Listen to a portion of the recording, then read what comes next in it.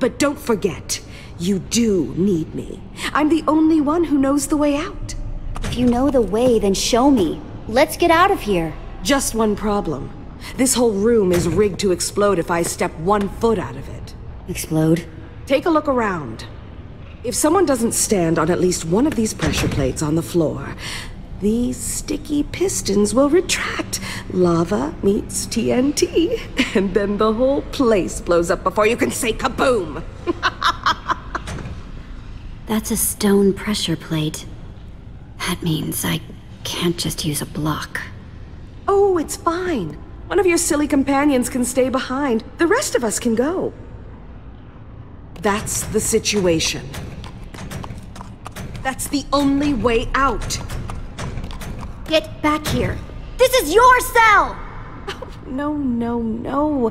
I'm not going back in there. I'm free, Jesse. And I intend to stay that way.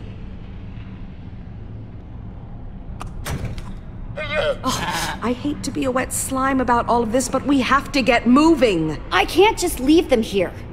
Then just leave one of them here. As long as one pressure plate is stood upon, the trap won't spring. So either the villager or the llama must remain behind. Hey. Hey. Hey. Nurm, no! You can't do that. Hey. Oh, come on! We seriously don't have time for this!